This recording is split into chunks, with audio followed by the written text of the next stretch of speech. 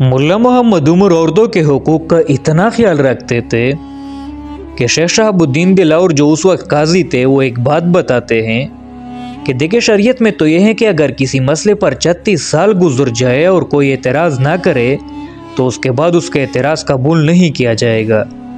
मगर मुल्ला उमर ने कहा कि चूँकि हमारी औरतें आज तक अपनी हक के लिए नहीं बोल सकती थी तो अब अगर किसी औरत का मसला हुआ तो उस पर चाहे जितना भी वक्त गुजर जाए, फिर भी उसको सुन लिया जाए और इंसाफ दिलाया जाए।